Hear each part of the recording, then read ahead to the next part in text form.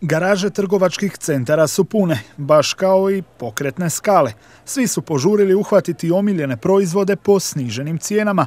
Krenulo je zimsko sezonsko sniženje i u narednih 60 dana odvijat će se u tri kruga. Prvi krug sniženja trajaće do polovice siječnja i u tom razdoblju popusti će iznositi između 20 i 30%. Nakon toga se očekuju popusti do 50%, a sredinom veljače desetak dana kupcima će proizvodi biti dostupni i po 70% manjim cijenama. Sezonska sniženja spadaju u posebne oblike prodaje i razlikuju se od rasprodaje i akcijske prodaje. Na njoj možete kupiti proizvode po cijeni koja je niža od cijene u redovnoj prodaji, dok je rasprodaja prodaja proizvoda po nižoj cijeni u slučaju prestanka poslovanja trgovca na toj lokaciji. Sezonskim se pak sniženjima smatra prodaja po sniženoj cijeni nakon proteka određene sezone.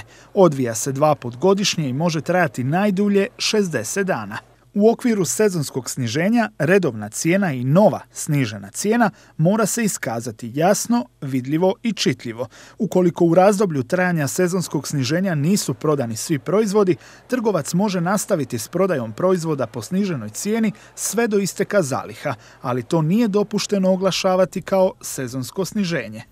Često se događa da trgovci za vrijeme sniženja prodaju proizvode s greškom, no to moraju jasno označiti te upoznati kupca o greški na proizvodu. Ako vas je trgovac na to upozorio, pravo na povrat novca nećete imati.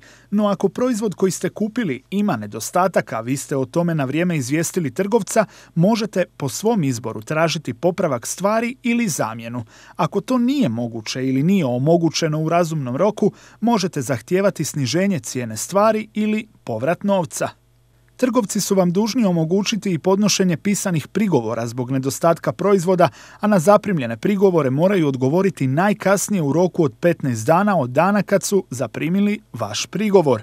Ako vam ne odgovore u zakonskom roku ili ako i nakon zaprimljenog odgovora smatrate da su vaša prava povrijeđena, za zaštitu svojih prava obratite se Državnom inspektoratu, a uz prijavu trebate priložiti i dokaz kojim je vidljivo da je trgovac zaprimio vaš prigovor.